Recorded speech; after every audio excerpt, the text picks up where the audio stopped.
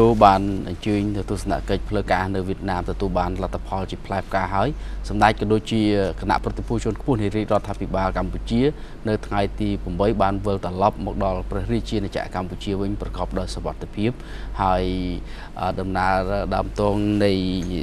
ទស្សនកិច្ចក៏ដូចជាការបង្កើននៅទំនាក់ទំនងឯកភាពគ្នានៅក្នុងការ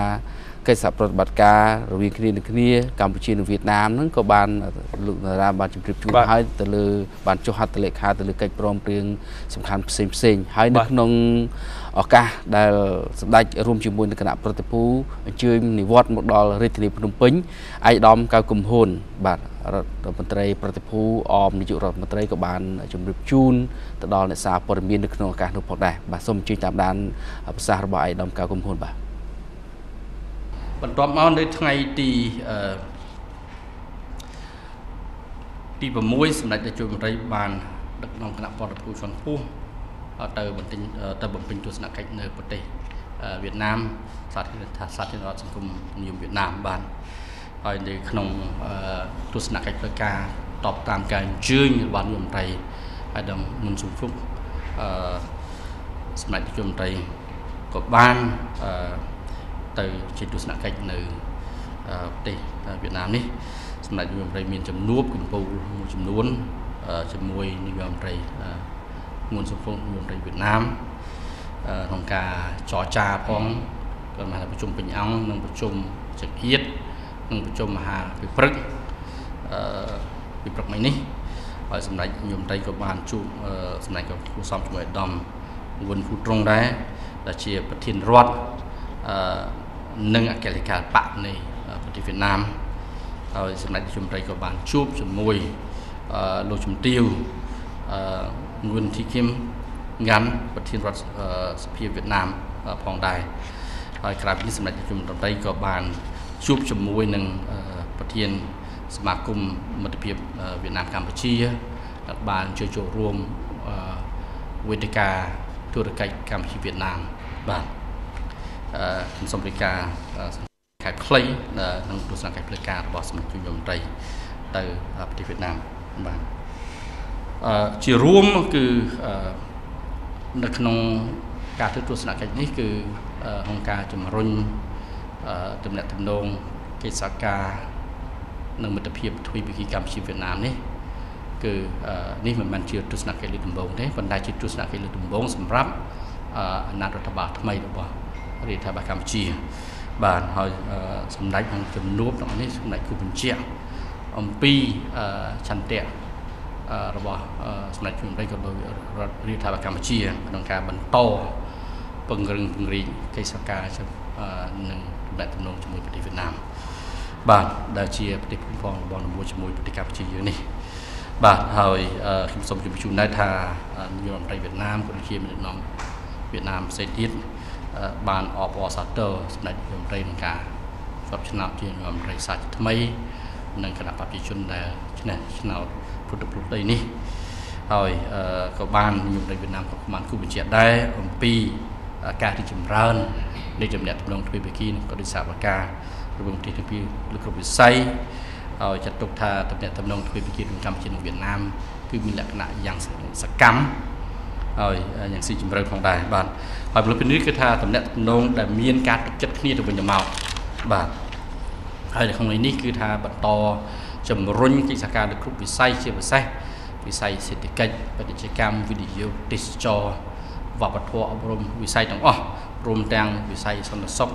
និងការពិជាតិផងដែរបាទហើយទិសដៅដោយសារឆ្នាំនេះបើយើងមើល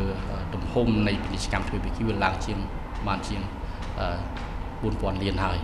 ប៉ុន្តែទិសដៅដែលបានឯកភាពដល់ញោមប្រៃទាំងពីរគឺធ្វើយ៉ាងណាដល់ឆ្នាំ2020ឲ្យទំហំពាណិជ្ជកម្មឡើងរហូតដល់5000លានដុល្លារបាទហើយញោមប្រៃវៀតណាមក៏បានគូបញ្ជាក់ផងដែរថាគាត់នឹងជំរុញឲ្យកម្មការស្នើរបស់សម្ដេចជួនប្រៃបន្តទិញកសិផលបន្ថែមជាប្រទេសកម្ពុជាបាទជាពិសេសអង្គតែម្ដង ហើយបើយើងមើលការវិនិយោគរបស់វៀតណាមក៏ដូចជាទេសចរបើយើងមើលទេសចរមានប្រមាណជាងកន្លះលាននាក់នៃប្រទេសវៀតណាមដែលមកទស្សនានៅប្រទេសកម្ពុជាកន្លងទៅនេះបាទក្រៅពីនេះក៏មានការពិភាក្សាច្រើនទៅលើការងារព្រំដែនដែរដែលប្រទេសទី2កន្លងមកបានចរចាយ៉ាងសកម្មហើយក៏បានដោះស្រាយការងារជាច្រើនហើយការងារសេសសល់សម្រាប់ជំនុំប្រៃនិងជំនុំប្រៃវៀតណាមបានឯកភាពគ្នា នឹងបន្តការងារនេះដើម្បីបញ្ចប់នៅពេលខាងមុខផងដែរបាទហើយខ្ញុំសូមជម្រាបជូនផងដែរគឺថាអឺសប្តាហ៍នេះវាមានយន្តការជាច្រើនយន្តការទ្វេភាគីដែលធ្វើការងាររវាងកម្ពុជានិងវៀតណាមបាទមានយន្តការគ្រប់កម្រិតរួមទាំងកម្រិតឋានៈកម្ពុជាផងដែរបាទហើយខ្ញុំក៏សូមជម្រាបជូនផងដែរគឺពាក់ព័ន្ធនឹងកិច្ចសហការរ វាងកម្ពុជានិងវៀតណាមមិនមែនតែទ្វេភាគីទេយើងសហការគ្នានឹងកម្រិតអនុតំបន់ដូចជាប្រទេស3ការវត្តត្រីកោណកម្ពុជាឡាវវៀតណាមកម្រិតអនុតំបន់មហាអនុតំបន់ទន្លេមេគង្គកម្រិតតំបន់ដូចជាអាស៊ានជាដើមបាទហ្នឹងក៏មានកិច្ចសហការផងដែរបាទនៅក្នុងជំនួបនេះគឺថាវៀតណាមបានគូបញ្ជាក់ហើយថាគាត់នឹងធ្វើជាប្រធានអាស៊ាននៅឆ្នាំ2020 ចឹងកម្ពុជានឹងគ្រប់គ្រងប្រធានអាស៊ាននៅពេលវៀតណាមធ្វើប្រធានអាស៊ាននេះនៅឆ្នាំ2020កម្ពុជានឹងធ្វើជាប្រធាននិងម្ចាស់ផ្ទះសម្រាប់កិច្ចប្រជុំកំពូលអាស៊ីអឺរ៉ុបផងដែរវៀតណាមក៏បានគ្រប់គ្រងប្រទេសកម្ពុជា បាទជាពិសេសតាមសាសនារបស់សម្ដេចជួនមន្ត្រីផងដែរបាទហើយអឺនៅក្នុងចំនួននេះផងដែរគឺសម្ដេចជួនមន្ត្រីក៏បានជួយបញ្ជាក់ដែរថាអឺ ទស្សនកិច្ចផ្លូវការរបស់សម្ដេចជួនមន្ត្រីនេះនឹងទិសដៅបន្តពង្រឹងព្រីងនឹងកិច្ចសការនៅក្នុងកិច្ចសការនឹងមិត្តភាពនេះ នៅក្នុងការជំរុញធ្វើម៉េចឲ្យប្រទេសយើងទាំងពីរនេះបង្កើនអឺគ្រប់កម្រិតនៃកិច្ចសការបណ្ដៃគ្រប់វិស័យបាទជាពិសេសក្នុងទិសដៅអឺ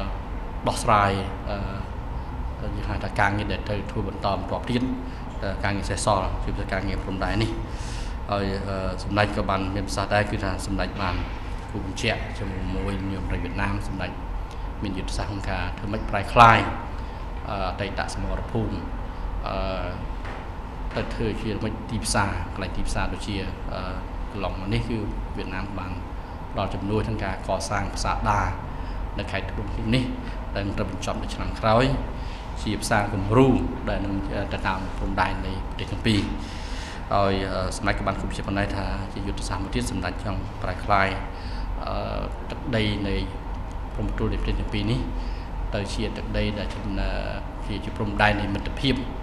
អឺសន្តិភាពកិច្ចសហការនិងការអភិវឌ្ឍបាទ